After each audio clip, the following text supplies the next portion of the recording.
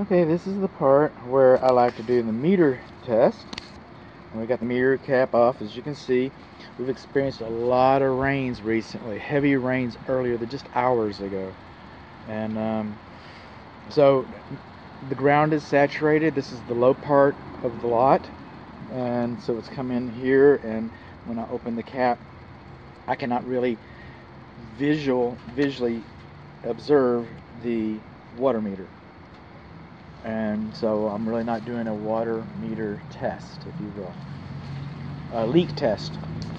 Um, I don't think you can see this in here, but with a little concentration and a little forensic imagination, I can see a main shutoff valve to the lawn sprinkler system. This is the lawn sprinkler system main, okay, uh, check flow, backflow device. It doesn't look like it's been serviced, and again, I can squint through there. There's a lot of reflection on the camera. Hello.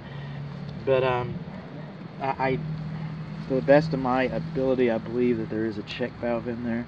It doesn't look like it's been serviced. Um, I can't give you a lot more information about it. I just can't.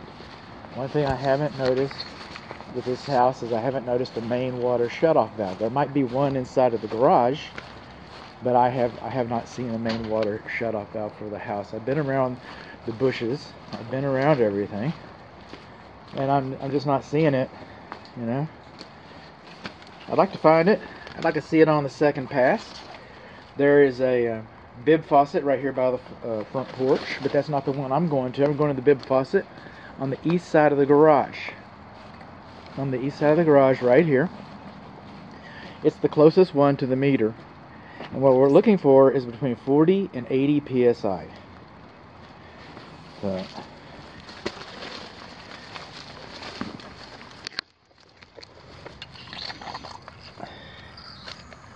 I'll wipe it off a little bit, a little foggy here, about 50 psi.